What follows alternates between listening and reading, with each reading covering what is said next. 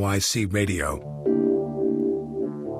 Billy Joel's fans have gotten to know him quite well over the past four decades. Don't go changing to try and please me. You never let me down before. From the open hearted declarations of old fashioned love in She's Got a Way and Just the Way You Are to the hard rocking social commentaries We Didn't Start the Fire and Allentown. When we're living here in Allentown, and they're closing all the factories down.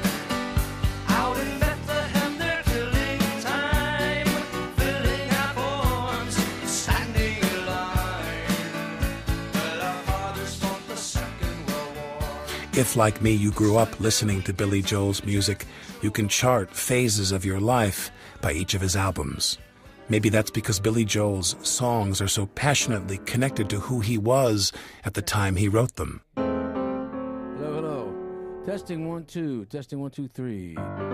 And when you're uh, actually sitting in the same room as him with a piano nearby, well, you can't help yourself. Play me something, if you don't mind, because your fans would demand that. I mean, I still always remember you said that to me years ago, how predictable it was wherever you were that there was a piano. People were always like, Billy, could you, uh, Huh? do you mind? Right, we- Just a couple of songs. Right. uh, it's, his, it's his birthday, you know. It's Christmas, and uh, we were wondering if you could play. Right. There it is. It's uh, And it's tuned. We just had it tuned. We just Just for you. we're such fans. Yeah. You don't mind, right? And th- th- th- that's your life, right? Yeah, yeah. That's your life. Yes. But it's, it's you know it's fun. Uh, I you can't have act alongs. You're an act. You can't act along. No. But you can have sing alongs. I can always sit down at a party, play the piano, and everybody starts singing. Like I go to a pub in England. Hey, come on, Billy, give us a couple of songs. Come on, there you go. Yeah, it's Uptown Girl, up to, and they all sit around, they sing, and everybody has a blast. It's fun. It's, it creates a community instantly. Billy Joel is the third best-selling solo artist of all time in the United States. He sold more records than the Stones, Bruce Springsteen, and Madonna. But he admits there's still room for improvement. I know what good piano playing is, and I'm not good. My left hand is lame. I'm a two finger left hand piano player. As opposed to opposed to somebody who knows what they're doing with their left hand. Right. I never practiced enough to use all my fingers on my left hand, so I just play octaves, bass notes. My right hand tries to compensate for my left hand being so gimpy, so I overplay on my right hand. My technique is horrible. I can't read music. I never really you got. don't read music. I used to, but I don't anymore. I forgot how. So if I took a piece of, of music that you didn't know, if I got a score, I wouldn't. and I put it in front of you and said, "Play this," you I- would not. It would be. Chinese. It would be Chinese to you. Yeah, I don't know. How did that happen? It's like a language. If you stop speaking it often enough, you can forget. Was when that- did you stop and why? movie Dances with Wolves. She forgot how to speak English. that was me. Uh, um, stand up with fist. Yeah, That's it. You are Favor's right hand. They call you. Favor's right hand. Favor's right hand. The, the tribe told you that at the music school there at the reservation. Yes. I started taking lessons when I was about four or five, and I went up till I was about 16. So it was uh, almost 12 years of, of classical piano lessons. I loved it, but I just, when you become a teenager, everything changes. I didn't want to read other people's dots anymore.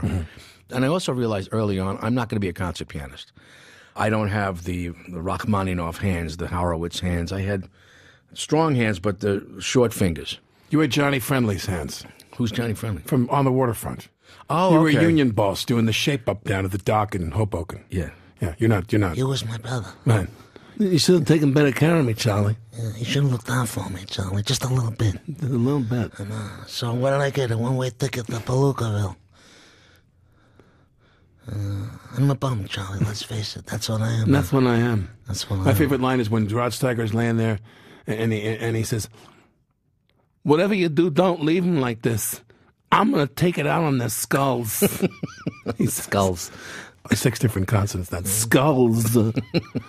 so. You're a kid, and you. I- I- I- you, you- but, but was there an intimation in your household? There was a classical piano. music, right? My father classical was music. Yeah, he was a classically playing, uh, trained pianist. He grew up in Nuremberg, Germany, and uh, he also went to school in Switzerland. His father was quite well off. They had a mail order textile business, Joel Macht Fabrik. So he had to learn uh, to play the piano. It was a very musical family. He could play Chopin. He could play all the great stuff. He should have become a musician. He became an engineer. He worked for GE, and then he was in promotion. But he was never really happy because he didn't become a musician. We had an old upright piano in the house, a Lester piano, real piece of junk, and I happened to inherit that thing. It ended up being a planter in the garden. My mom used it to grow uh, honeysuckle. She sang. Her family were all singing. Uh, Gilbert and Sullivan, English music hall people. Her family was English. So I grew up in a, in a very musical home. I heard music all the time. My father was playing. My mother would sing. Radio was always on, listening to Milton Cross. And uh, the opera on Sunday. Leonora enters wearing a white gown. So I, I used to bang on the piano. My mom got sick of hearing me bang, and she dragged me down the street, and I started taking lessons. And I took to it. You and the Lester and your mother and your father. Where is this? The Bronx. This is in Hicksville. Everybody was in Hicksville. by We then. were in Hicksville. I, um, when my family moved with me out of the Bronx when I was a, a, baby. I think I maybe a year old. So you basically grew up on the on the island. I grew up on the island in the Levittown section of Hicksville. Right.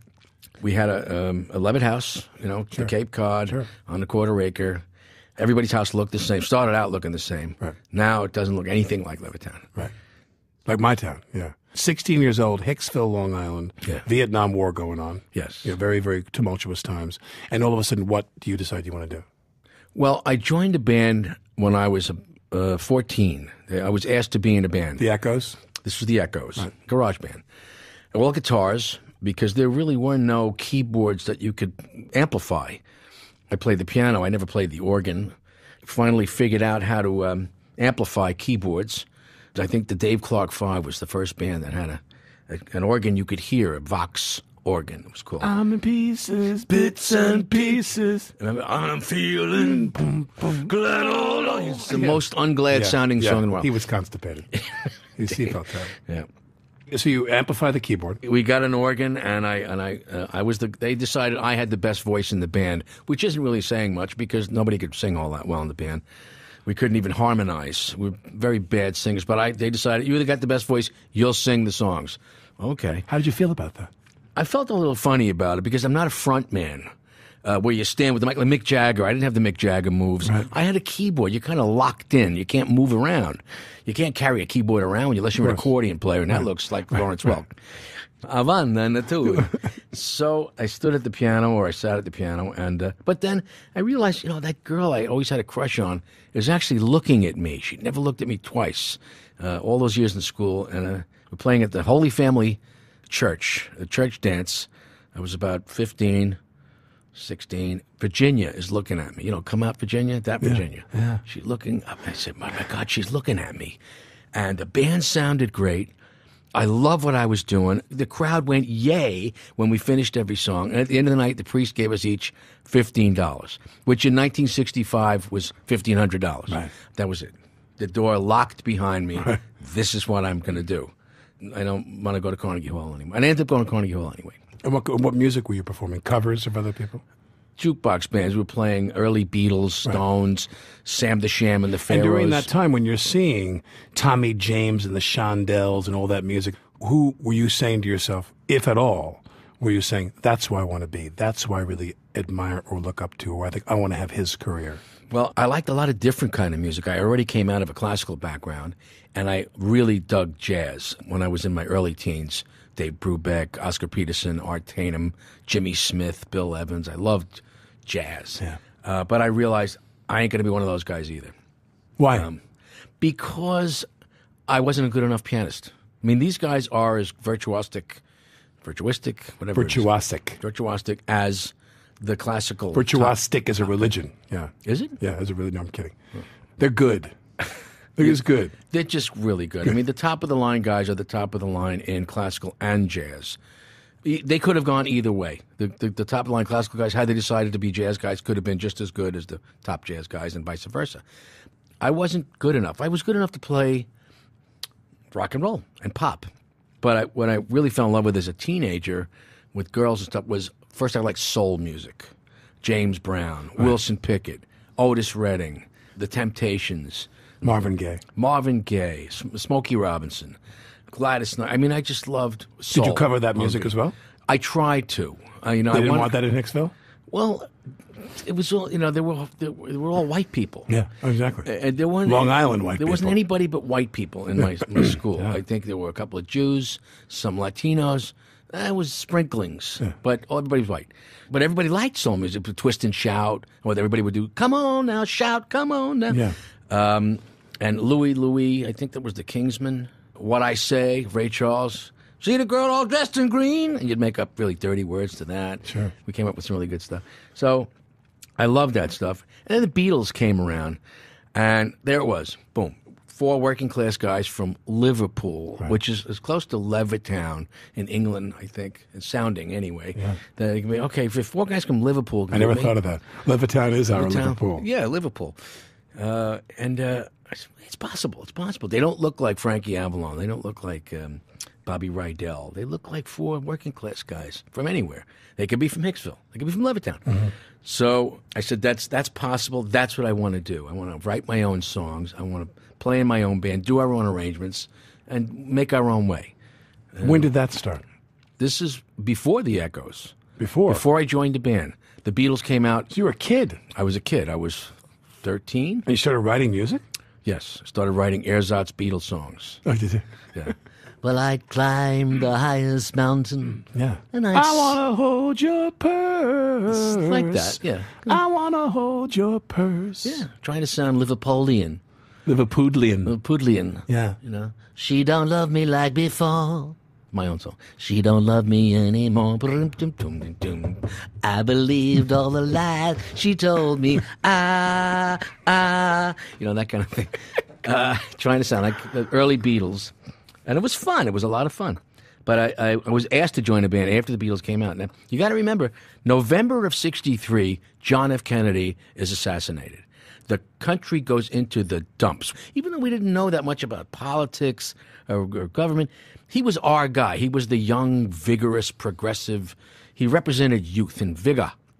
And he was, boom, he was shot, taken away. Everybody just turned off, like a switch turned off. We became very cynical, depressed. The whole nation had the blues. February of 64, who comes out? The Beatles come to America. We took them in. We just embraced Like oxygen. that. They walked into that space. Hopeful, funny, It was they were warm, you're our guys. sexy, Yes. everything. Everything. Everything that Let's was party. taken away from us. Great, let's go have a party. Let's party. Yep. So you start writing songs, and you're saying ersatz Beatles songs. What's the first song you write that you can remember? Uh, it was called My Journey's End. Right. I, What- I could play it if you want me to. Let's hear it.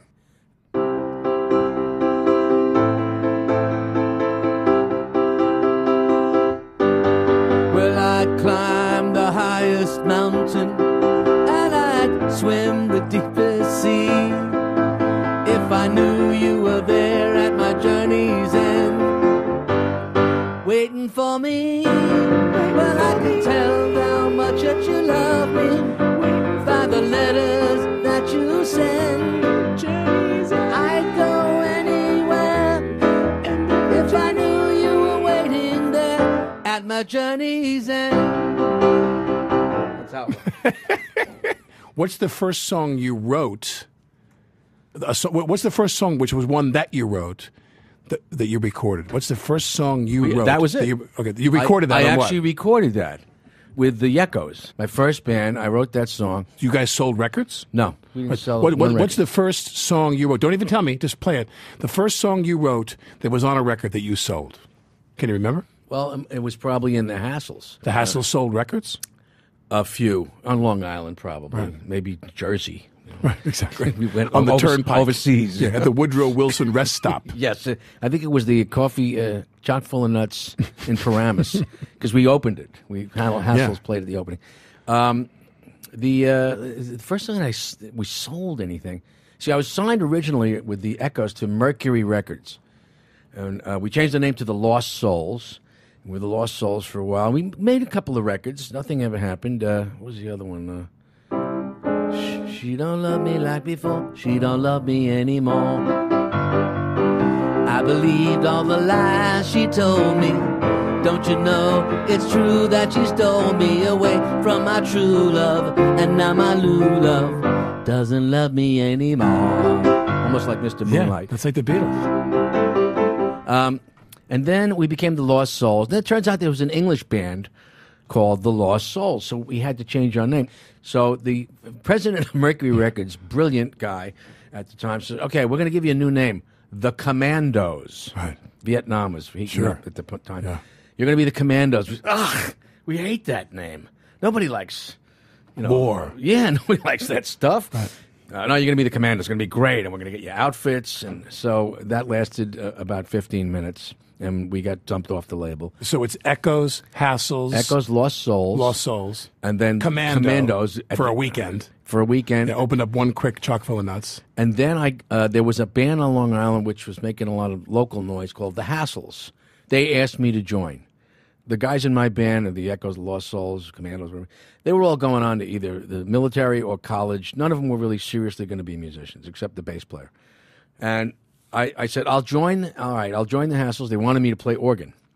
I'll join the, if I can bring my bass player with me because they didn't have a bass player. They said okay, so that became the Hassles, and then there was another guy. He got like a lot of Mick Jagger moves. Little John, his name was. Little John, front guy, great hair, good looking guy. Couldn't sing to save his ass. Didn't matter. You jumped- could he- wiggle it, He was gorgeous, and women just went nuts. And I'm I'm in the back The doing women all were singing. deaf. Well, they, but they had eyes, you know. they, they could see. they could see the music. So, Video killed the radio oh, absolutely. Glad I came up in an era where it wasn't that prevalent. exactly. So then I, I was in the Hassles. Now the Hassles were a band, blue white soul band.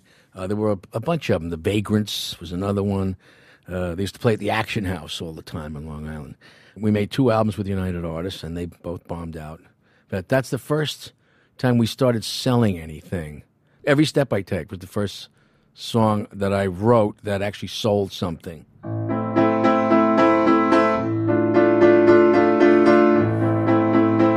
That was the vamp. Everything I do, don't know. The chorus went. Every step I take, every move I make, I know I'm trying to a knife without you. I turn, I run, I hide. Really bad lyrics. When I know deep inside, a part of me has died. Yeah. You sound like Papa. Yeah.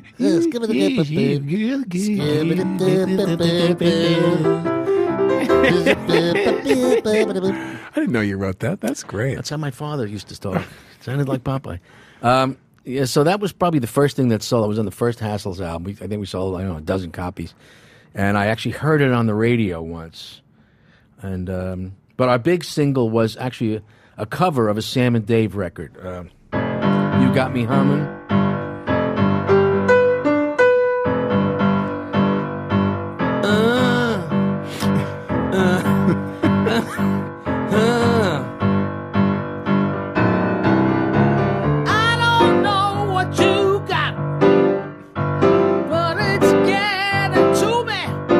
Humming. You got me humming. It was a big song by Sam and Dave. Everybody was covering soul records and doing them psychedelic or doing their own arrangements of them. That was the Hassles' hit. First album was horrible, but the second album was really horrible. And then I, me and the drummer split off from the Hassles to form a power duo. Yeah. Like, uh, and yeah. I, I played. Simon and Garfunkel. yeah, sure. yeah. We were going to destroy the world with amplification. This was like the heavy metal thing. We heard Zeppelin. It blew our minds. Iron Butterfly.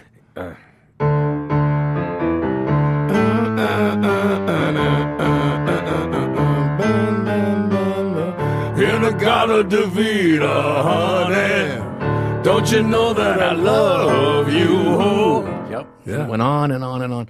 We tried Why to be were we listening to that?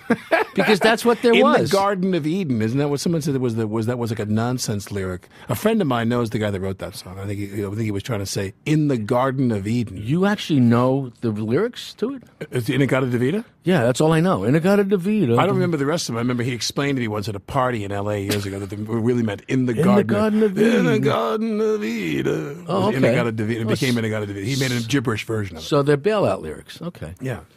I didn't So know when that. so when you get to the this point where you say couple albums, the hassles, and then when is it you? Well, it changed. What I- happens? The bands got smaller and smaller and smaller. The uh, Attila became a two-man band. So, so when you you and he went off, we went it was- off. Attila was the two of you. it was just the two of And us. what did he play? He played drums. Drums. I played Hammond organ wired directly through amplifiers. So we're getting closer to Lawrence Welk now. The more we go, it's getting closer. Well, you almost got that accordion, But it was louder. It was much louder. And we got signed to Epic. And we were on Epic for one album, and it was a colossal failure. We played one gig, I think it was on Ungano's on the west side in Manhattan. and people went fleeing from the place. We were so loud. You could see blood coming out of people's ears. It was horrible. Thank God it didn't happen because I would have screamed myself out of the right out of the business. So after you nearly kill a room full of people at Ungano's, Yes. then what happens? Then the, we broke up, and I decided I no longer want to be a rock and roll star. Uh, got that out of my got that out of my system. I was about nineteen or twenty. I want to write songs now. I'd like to explore a little bit of folk music. And what did you start to write?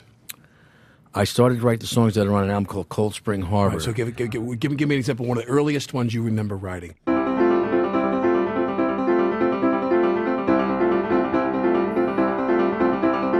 Baby, all the lights are turned on you. Now you're in the center of the stage.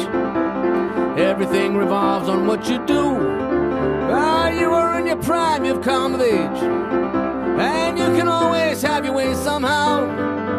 Cause everybody loves you now. It's kind of Dylan-esque. You know, I wanted to, I, I wanted to go down, play in the village. Actually, I didn't even want to play anymore. I Just wanted, you? Just me.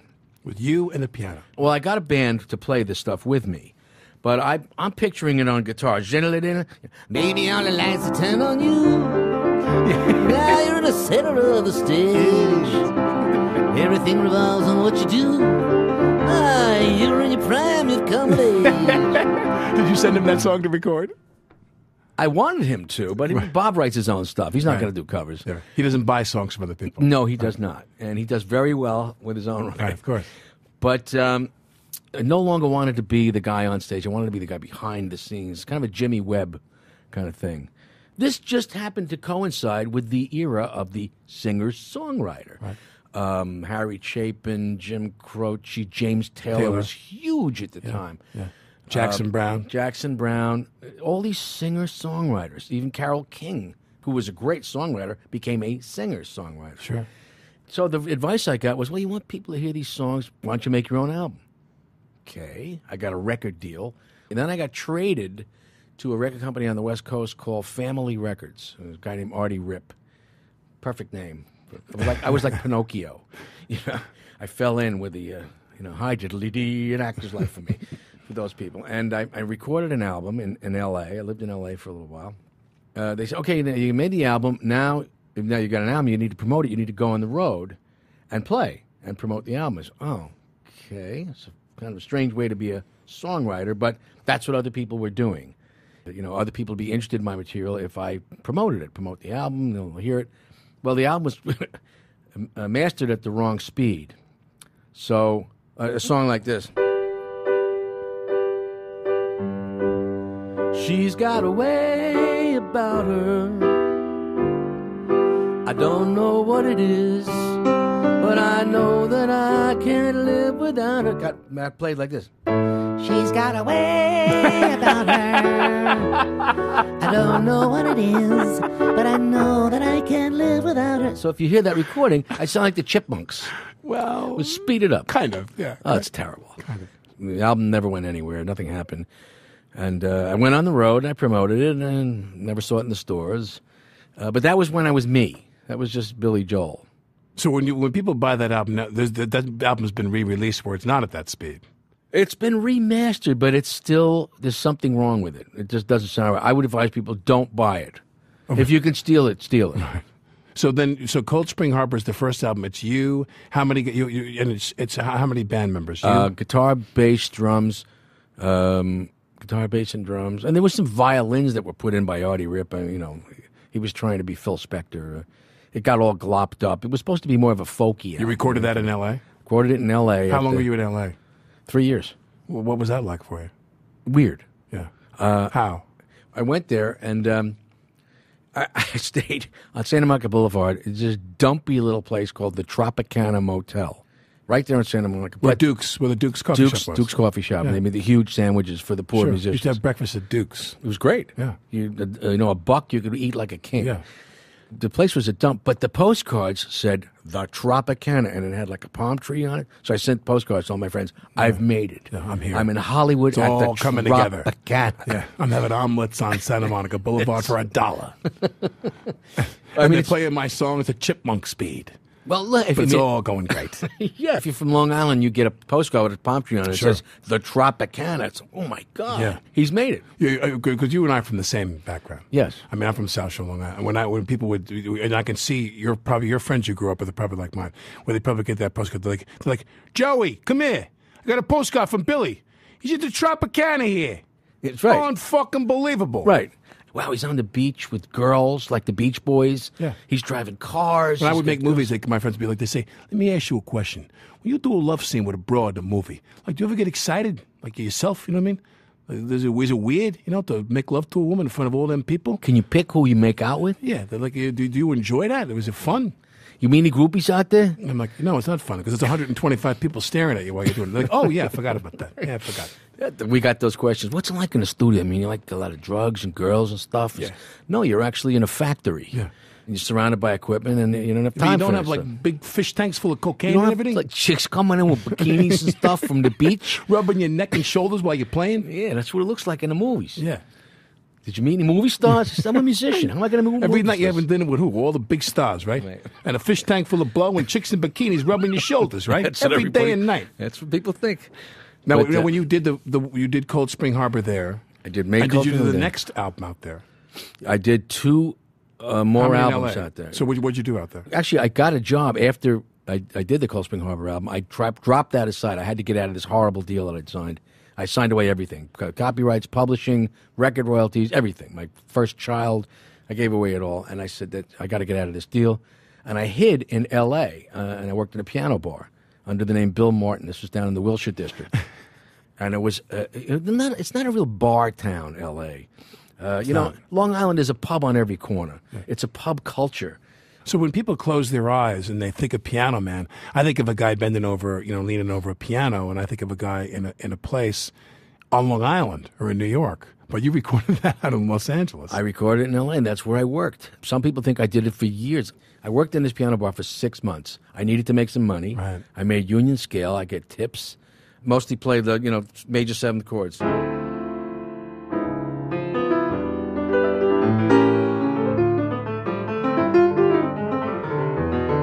Good evening. How you doing? but, but, but, but, but, but, but how does Piano Man start?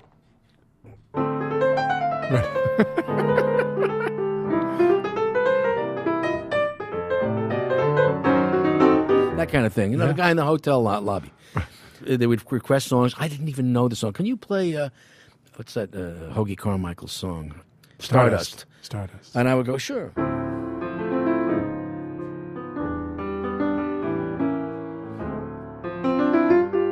Can you play Misty? Sure.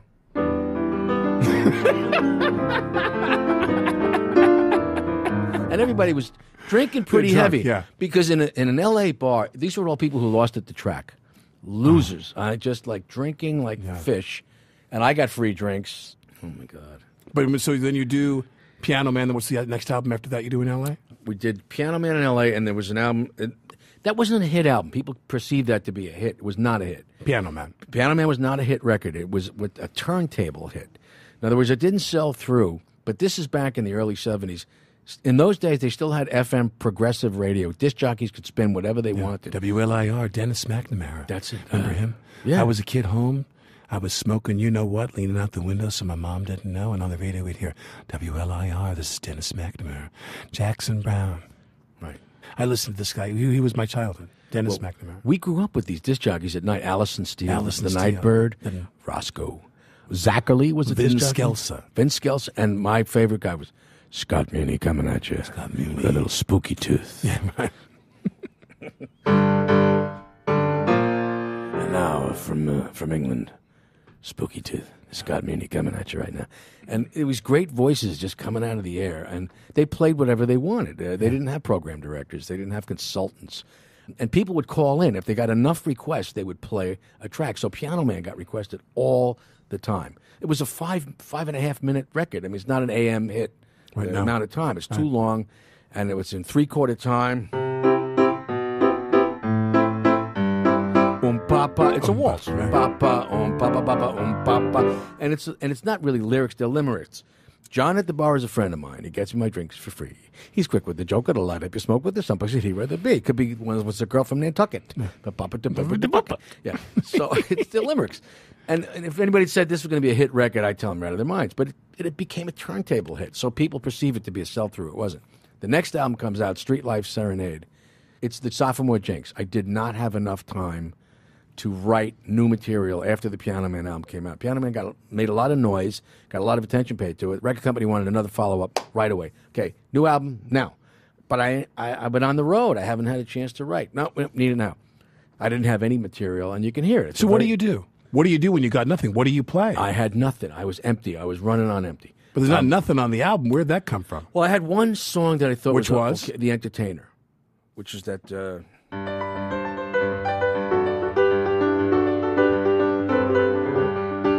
another folk song. I am the entertainer. I know just where I stand. Another serenader and another long-haired band. Today I am your champion. I may have won your hearts, but I know the game. You'll forget my name. I won't be here in another year if I don't stay on the chart. I wrote it on the guitar, actually. But that was it. That was probably the one song that I had finished. And then, boom, I'm in the studio. The clock is ticking. So there's two instrumentals on that album the Root Beer Rag, which is just a piano ragtime thing, and this uh, ersatz Western movie theme called The Mexican Connection. Because I was living in LA. I was fascinated with Westerns. Bum, bum, bum, That's it. There's a song actually on the Piano Man album called "The Ballad of Billy the Kid," Sure. which is historically completely inaccurate. I just used Western sounding things from, from a town known as Wheeling, West Virginia. He wasn't from Wheeling, West Virginia. He was actually from Brooklyn. From a boy with a six gun in his hand, and then he robbed his way from Utah to Oklahoma. He never got out of New Mexico. You're ruining the song for me now. I, I don't want to know how it's the sausage okay. is made. East and West. Ballad of Billy the Kid is fine by me the way it is. Don't screw it up for me. No, but I think it's don't funny want that, facts. that it was just Western sounding things. East and West of the Rio Grande. Well, it can't be East and West because the Ru- Rio Grande runs East and West of the Rio Grande. God damn it, I know which way the Rio Grande runs. and the crowd poured in to watch the hanging of Billy the Kid. Well, Billy the Kid wasn't hung; he was shot. Of course, we don't know if he was hung. Okay, now you now you win. Now I hate the song. Okay. I hate it. It's a fraud. What are the songs On Street came Life? off of Street Life that were Nothing. that were memorable? Nothing. The You thought were Entertainer pretty. is the only one. Uh, there was a song about a hooker that I was in love with. I wanted her to leave her profession and be with me, but she made too much money and I couldn't afford her. It was called Roberta. What else was on that album? Souvenir. It's a nice song.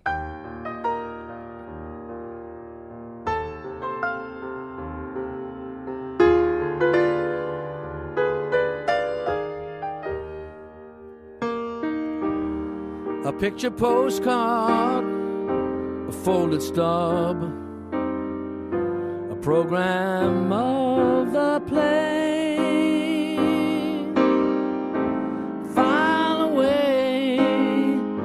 Photographs of your holiday.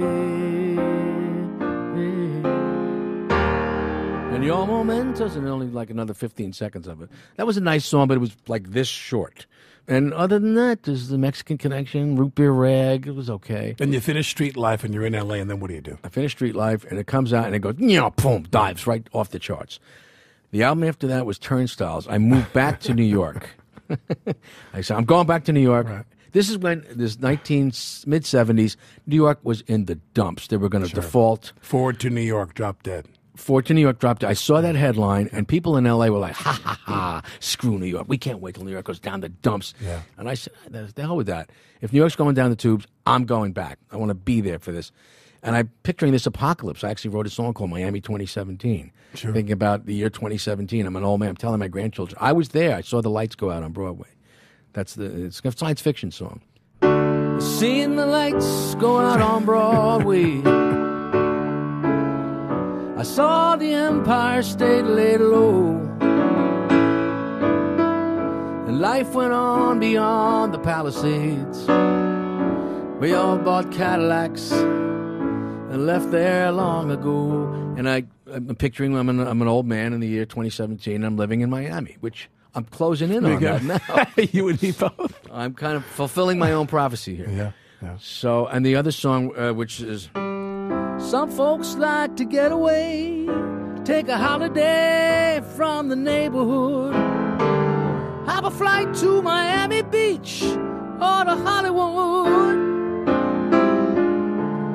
I'm taking a Greyhound on the Hudson River line. I'm in the New York state of mind. Or we could do it like this. Some folks like to get away. Tony, come on, check it. Take a, Take holiday a holiday from, the, neighborhood. Hop a flight to Hop a flight to Miami Beach or to Hollywood. Yeah.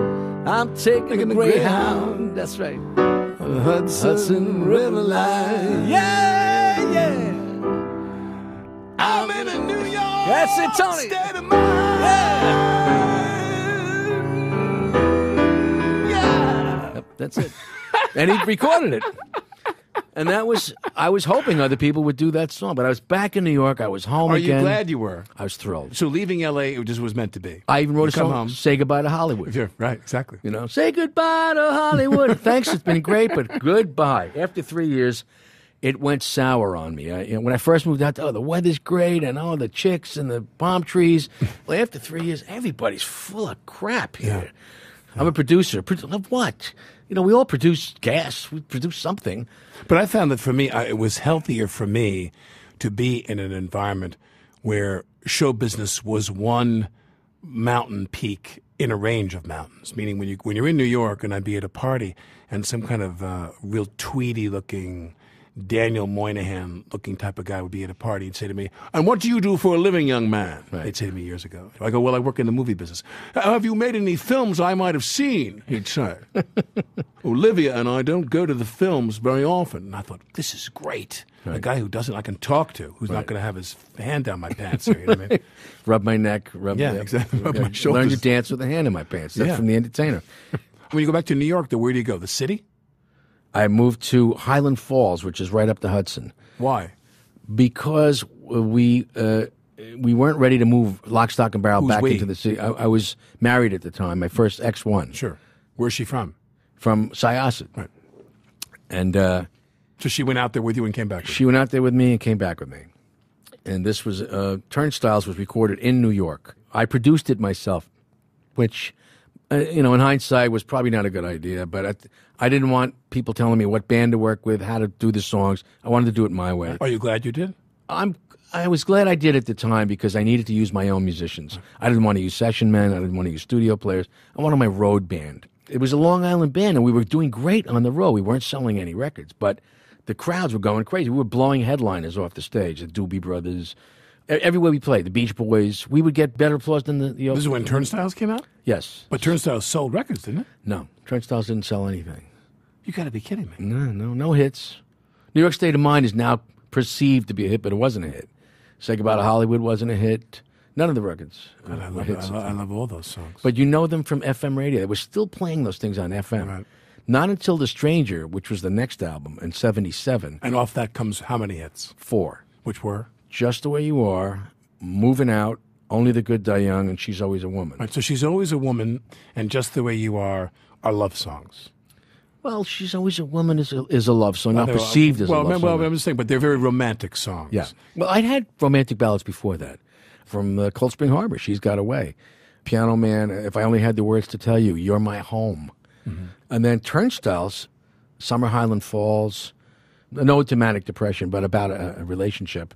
But I was writing ballads. Uh, I've loved these days, Sure. uh, the- uh, about a man and a woman. And then uh, The Stranger, Just the Way You Are, which is just a pure out and out love song. She's Always a Woman, which is kind of a double edged sword there.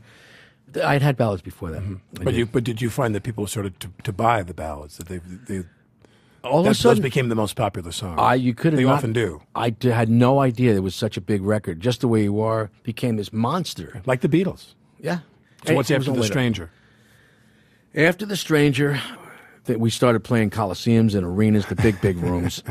and I went right back on the road again, and I started writing again. Um, uh, 50 Did you start writing for bigger rooms? Yes. You did. Yeah, I had to be. I was aware. Now we're playing the big places, and we got to write bigger songs. I got to have bigger Numbers. music, energy. Yeah. Because you can't play to a coliseum with a, a, a handful of ballads. You got to knock them out. Uh, big Shot was on that album. Zanzibar, Stiletto. It got bigger. It got rounder, fatter, Fuller. fuller, faster.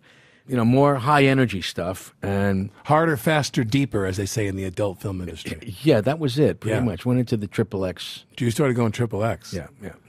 Acoustically. and that that one album of the year, they uh, Stranger actually should have, but I was up against Saturday Night Fever, which nobody was going to touch Sure. with a ten foot Right, pole. Everybody even said that. The only reason you got fifty seconds is because we should have given it straight to last year. this was your color of money. Uh, yes, exactly. This is, this is Paul Newman getting an Oscar. it's all political. It's fine. Well, you know how this works. Sure. Uh, What was after that? Glass Houses was 1980, and uh, that was pure power pop. Is there ever one you sit there and you really have to strain? I mean, you get it and you like it and you love it and it does well. Is there a song that didn't come easily to you that you really had to work to, to crack it, so to speak? the whole Nylon Curtain album, which was 1982. The album before it, which was Glass Houses, was just pure fun. Playing with the band, got a good guitar player, had a, just had a blast making the record. The next album, I wanted to write my masterpiece, my Sergeant Pepper, as it were. And instead of writing from the um, from the inside out, like having starting with a seed of a song, we started with sound, sounds and ideas and thoughts and studio techniques, and we went from the outside in. So it was a whole different technique of creating recordings, and we didn't really know what we had until almost the final mix. What is this thing? We're experimenting with stuff, and it was it took a year. Were you still producing? no, no, I Who had was producing? Phil Ramone, who started with Ramone. S- Stranger, 1977. Now, when when you have someone like Ramone, because we, I mean, again, I don't, I know nothing about your business except what I see and observe. Like, what is someone like Ramone? What did he do for you? How did he help you? Well, Phil Ramone has a, a background. When he was a kid, he was a, a child prodigy on the violin. He was a violinist.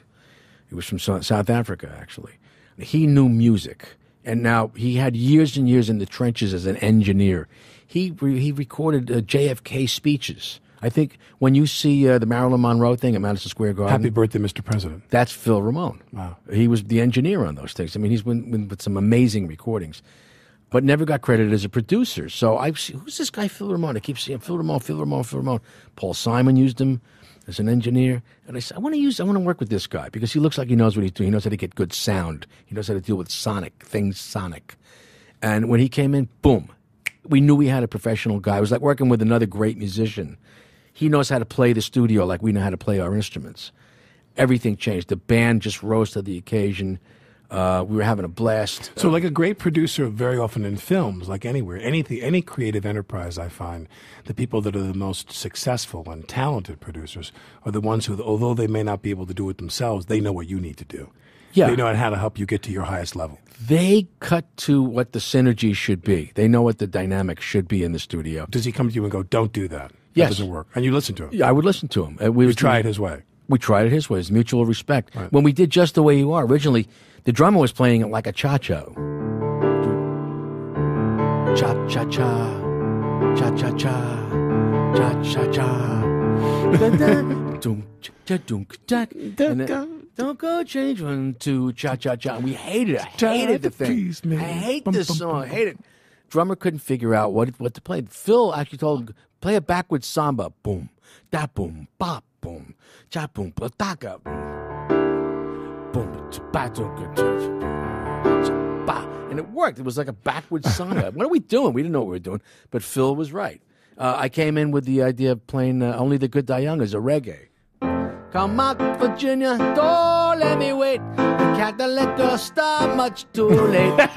Liberty throws his sticks at me. He goes, Why are you doing Because the closest you've been to Jamaica is Queens. You know, what are you doing? It's changing trains to go down to Seaford. Change at Jamaica. Change at Jamaica. So For the he- train to Speonk. That's it. He said, uh, I'm not playing this. I'm not playing it. What are we going to do? So Phil came up with this shuffle against straight fours. And the uh, guitars are going banana, banana, bop, bop, banana, and, and we were playing it, and it worked. It was like two things jammed into each other. Phil knows how to do that, and when we would get tired or we get discouraged, he'd say, "Just stay, stay a little longer, try one more. All right, take a break. Let's have some Chinese. Okay, uh, go back in." The post Chinese food tapes were always good. I don't know why that was. Yeah, that MSG, man, it gets, it gets right into the fingertips. it worked. Yeah. But Think he, of where Mozart would have been if they had MSG back then. Oh wow, he did pretty good. He did pretty good, yeah. He Forty did pretty good. He did. He went as far as you could go without MSG, I think. Yes, And then you do Nylon Curtain. That's eighty-two. eighty-two was the nylon. Curtain. And you said you wanted to be your Sergeant Pepper, and what was it? It was. It's my favorite album. Really. Why? I'm, I'm because I could hear all the work that went into it, all the textures, all the layers. What's a song that you're particularly fond of from that? oh, jeez, every song on that album. I like. Really? Uh, surprises that. Uh, it's very obscure. Don't get excited. Don't say a word. Nobody noticed. Nothing was heard. It was committed discreetly. It was handled so neatly, and it shouldn't surprise you at all. You know, break all the records, burn the cassettes.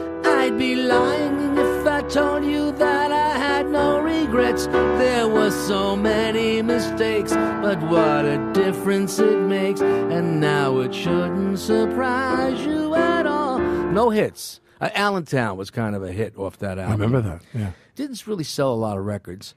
Pressure was the big hit, I think. The, uh, me as Tchaikovsky. what was that? The, what's the one from Swan Lake?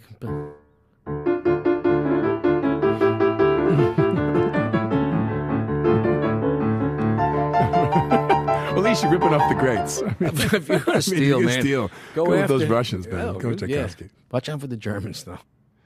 What did you do after the Nylon Curtain? Um, after the nylon curtain, because it was such an intensive labor, the nylon curtain, something very dense and very complex. I wanted to do something simple and dumb and happy, and I did an innocent man, Right. which is really an homage to all the music of my teenage years. Frankie Valli and the Four Seasons was Uptown Girl. Right. Uh, and that was a hit. It was a big hit. Big hit. It was a joke. Right. It was a uptown girl trying to sing like Exactly, Frankie. exactly. She been living in her uptown world. I bet she never had a backstreet guy. And he had this impossibly high voice. Never told her why I'm gonna try you. And I realized something that I uh, remember the song Rag Doll. Ooh, ooh, ooh. They call her Rag Dollar. Yeah, and then the verse was, "I love you just the way you are." Ooh, it's uh oh. Is that where I heard that before? Just the way you are. Yeah. And then there was a song. Um, I was trying to do Little Anthony and Imperials.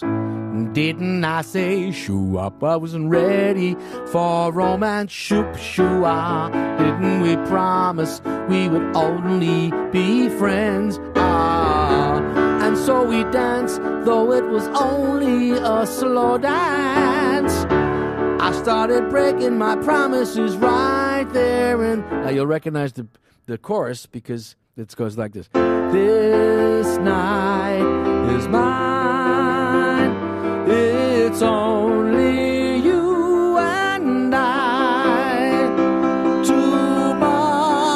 Tomorrow is a long time away. This night can last forever, which is the Pathétique by Beethoven. Right.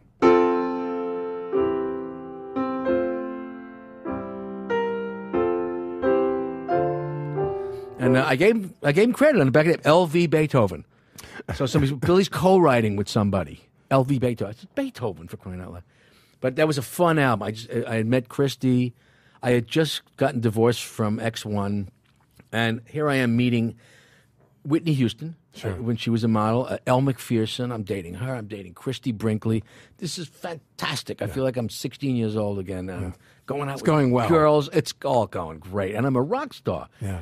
I got a pad at the old San Moritz on Central Park South, Sure. which is now the, I think the Ritz Carlton. Which is now the Ritz Carlton. But the elevator would open, and there was my apartment. I was the only apartment on that floor. It was very impressive. So this music was me being a teenager all over again, falling in love, having romance, and all that great stuff. So why'd you get married? I don't know. Yeah. Why'd you? Why, I was in you love. You're asking me. Exactly. But I was going to say, well, but it's funny because you, you you think to yourself, why get married? It was all going Well, so good. But, but not that getting married means bad. But I'm saying, but but uh, is that a part of your makeup, which is married, family? Was marriage the right thing to do? I was madly in love, and Yeah. When you're really like- in love, you marry him. That's it. That's how I feel. But I, I still feel like I can be madly in love and not be married. Yes. I was married three times. When did you go to Russia? Eighty-seven. Right. And how did that happen? Well, we went to we played in Cuba in 1979. Uh, they did this thing called a Havana Jam. Cubans came up here, and we went to Havana. We played at the the Karl Marx Theater in Havana. it looks like Bloomingdale's. It's script, the Karl Marx Theater. looks like a department store. And everybody gets up on stage. These other American artists, Stephen Stills, "Viva la Revolution! Viva Fidel!" Kris Kristofferson, "Viva la Revolution! Viva Fidel!" He's talking in Spanish. I get up on stage. I'm in the last act. I said, "Yo no hablo español," and I went to Big Shot. Then the kids went, ah! Storm the stage. There you go. They didn't want to hear Viva. We hear this crap all the time. We want to hear Big Shot. What? They went- I said, we got something going here. We're being subversive with rock and roll. This is what I And they like. loved you there. They loved How it. did that feel to you? What was the first place you played a big concert at? When you were a star, you're a big music star. You're one of the biggest music stars ever. And you go to a foreign country and, and you realize music just transcends all of it. Germany. I think it was in Frankfurt. What year? 77, 78. We'd had a hit with the stranger, and I played in England. And the English, they're kind of fickle. They like you for about a month, and then you're yesterday's papers. Oh, we like that Billy Joel, Billy Joel, and um, they. I, actually, I wasn't big there until Uptown Girl, but Germany, we had a couple of hits, and the Germans went berserk. They don't have seats. You're getting a standing ovation when you walk on the stage because they can't sit down. This is great, and it actually changes the energy in the room. They're all standing, yeah, yeah, Billy, Billy. I'm thinking, oh, I guess they don't know what they did to my family. Yay, Billy! And I'm thinking, so this is how Adolf must have felt. Yeah, yeah. You know, wow, this When they love you, they let you know it. Scary. You're like, okay, let's go invade Poland. Come on, let's go.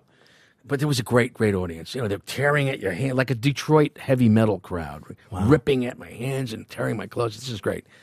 That was the first time in a foreign country where I knew something. How did they? How, how- the trip to Russia in '87 was that your first time there? It was the first time they'd ever had a major act from the West, uh, America.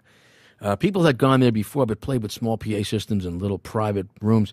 We played at the Lenin Stadium, the Olympic Stadium, and uh, we brought a, a, Western PA system, same PA system we'd use at Madison Square Garden. They'd never heard a PA system like that. You know, the helicopters come in at the beginning of Good Night Saigon, and they're looking around for the helicopters, and then the, the hard rock is hitting, and the drums. They started going berserk.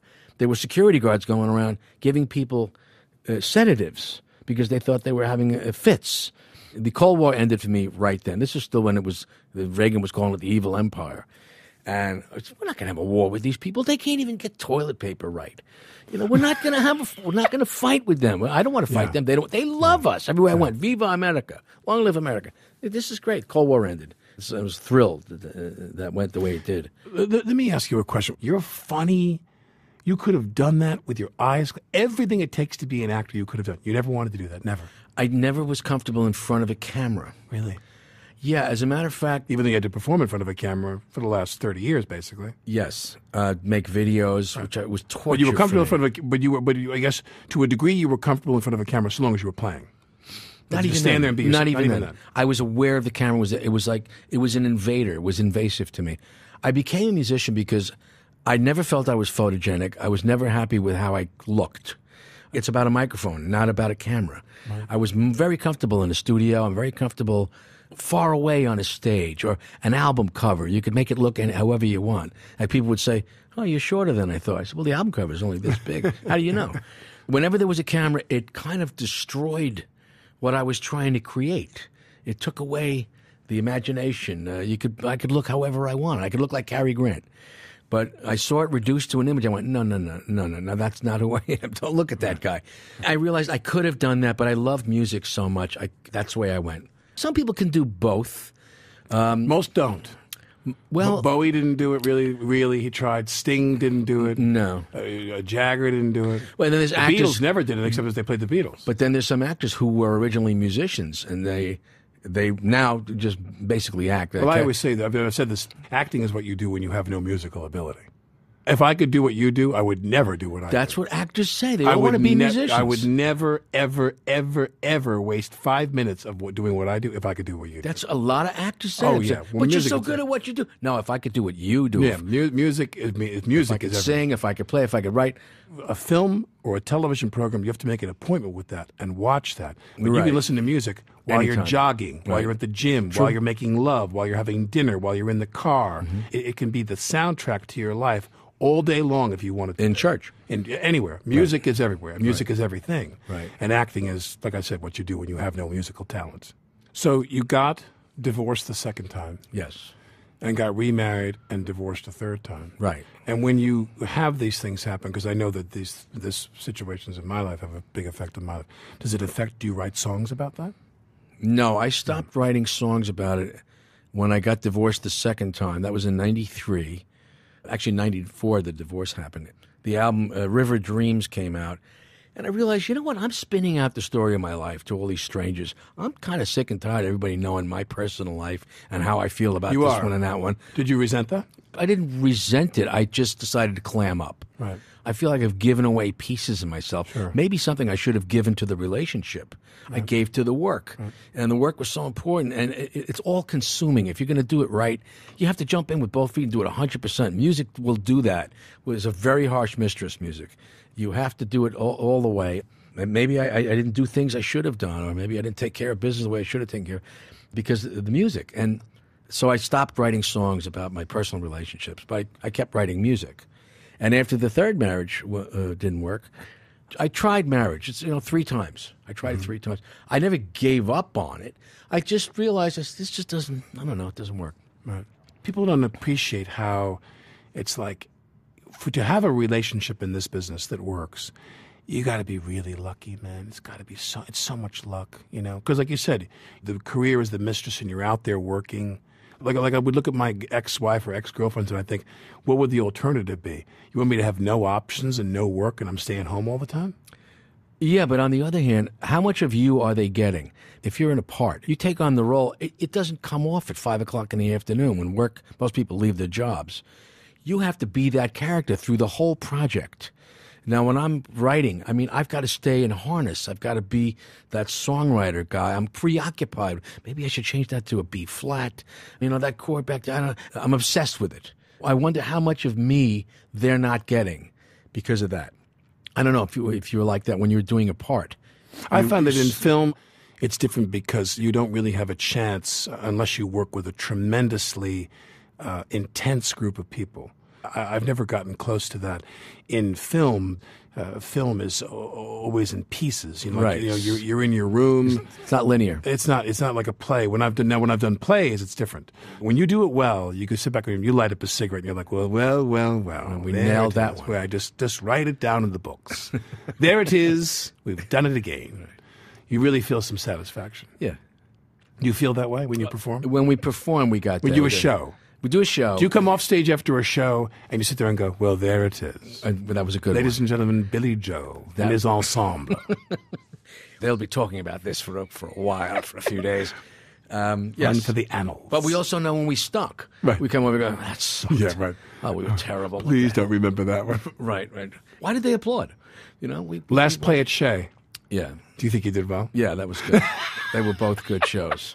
The, the dou- last double play at Shea, we did the two nights. Yeah. Uh, yes, that was exhilarating. I, I, it was a hometown crowd, and um, it, it just it was exhilarating. It- it- we were on stage for three and a half hours, and if, I didn't realize how hot it was. It, it was sweating. I'm watching the movie Yeah. of me on stage. Somebody give that guy a towel. Yeah, it was hot. I was. He's like soaking. Ugh, he's so wet and slimy. Wipe him off. And um, it- but it, it, we were having such a good time. We, we we walked off, and for weeks after, we were kind of amping from it. New York loves you.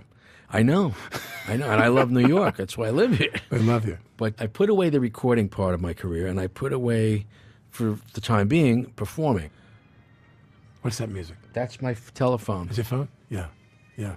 You hear it? It's A the man- Godfather. It's, it's, it's the theme from the Godfather. Oh, that's, that's interesting. That's perfect.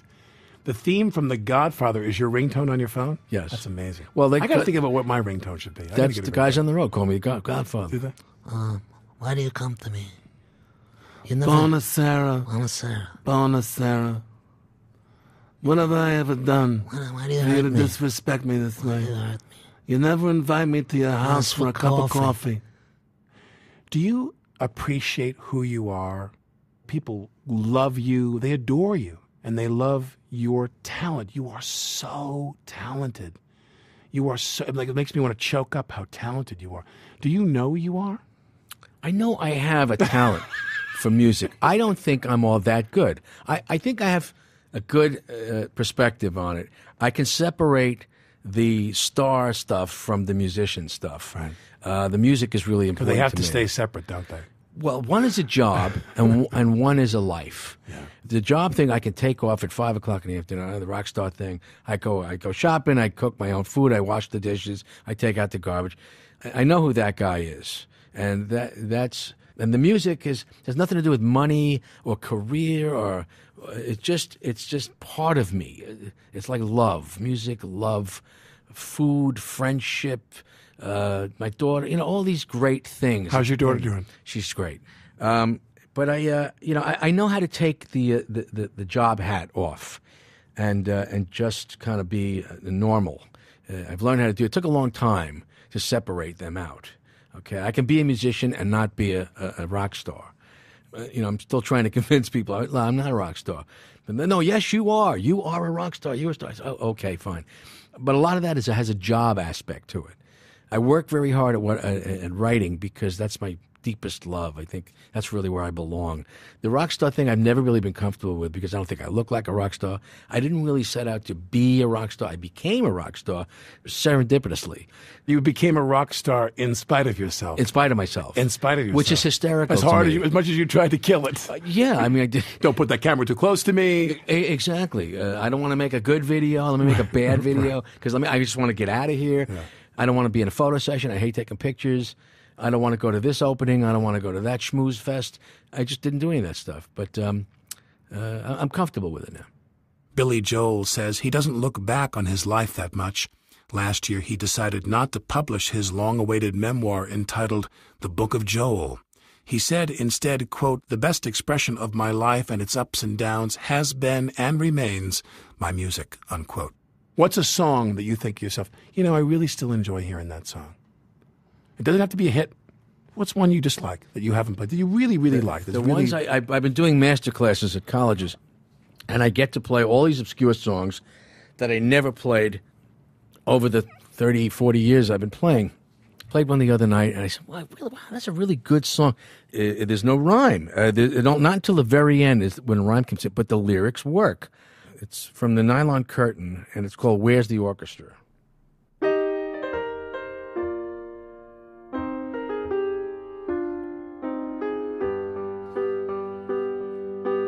Where's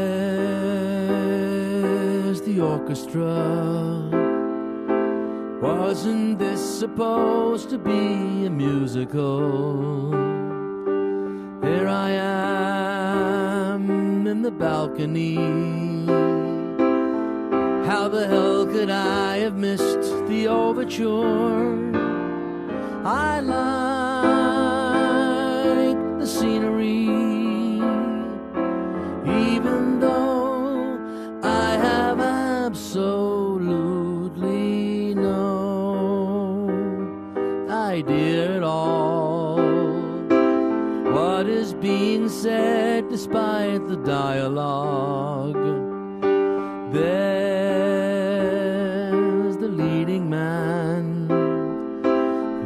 star who never faced an audience. Where's the orchestra? After all, this is my big night on the town. My introduction to the theater crowd. I assumed that a show would have a song. So I was wrong. At least I understand all the innuendo and the irony. And I appreciate the roles the actors played, the point the author made, and after the closing lines, calls, the curtain falls on empty chairs. Where's the orchestra?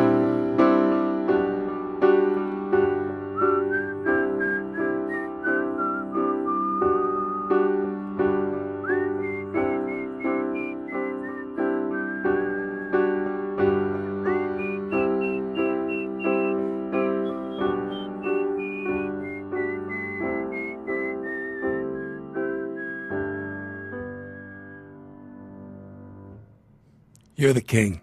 Thank you. No, really, you're the king, man. Thank Thank you. you. Thank you for coming. Thanks, man. Here's the Thing is produced by WNYC Radio.